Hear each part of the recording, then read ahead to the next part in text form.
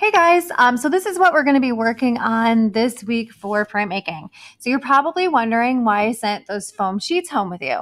Um, so foam can actually actually be used as a printmaking material. Um, so it's a little bit different than linoleum carving. We can't get quite as much detail, um, but it was a very easy thing to send home with you. So we are still going to do in-person um, printmaking carving, um, but this was a good thing to get you used to that um, that I could send home.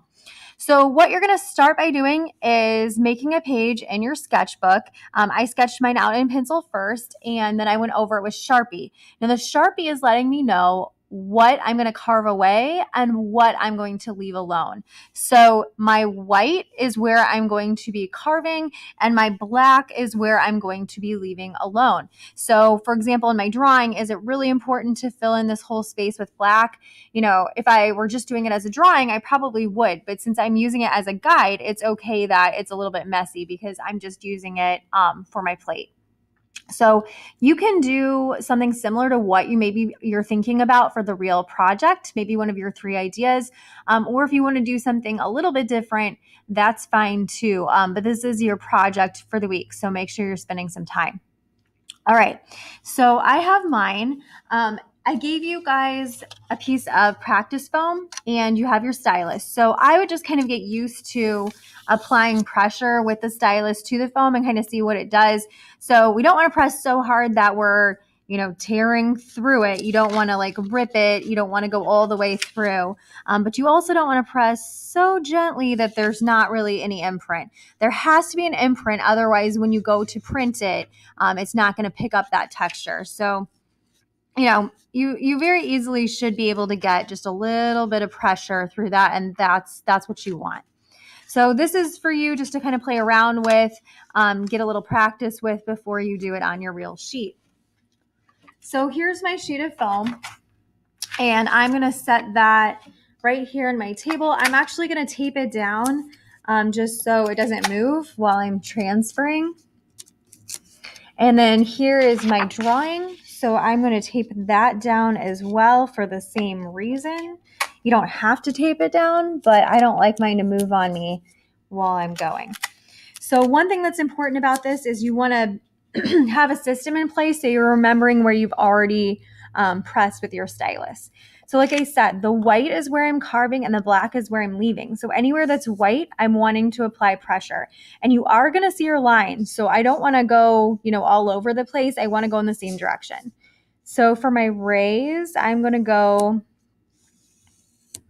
I'm going to go in lines radiating outward. Again, all in the same direction. I don't want to have like a sloppy mess. And you can see the indents in my paper. So I am pressing hard enough to make an indent in my paper. And I can sneak and kind of check and look and see, okay, and I can see my marks.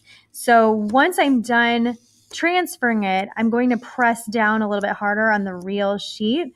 Um, but this is helping me see where my image is so that I'm not just free handing it. I already have my guide in place.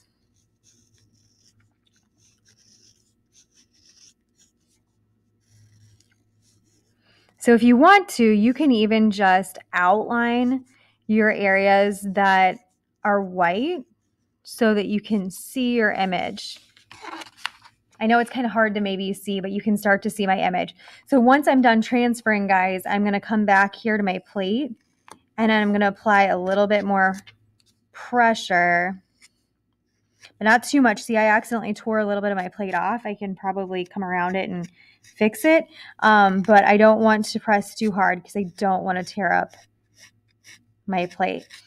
So when you guys come back, um, I think I see you guys Tuesday of that week, I think.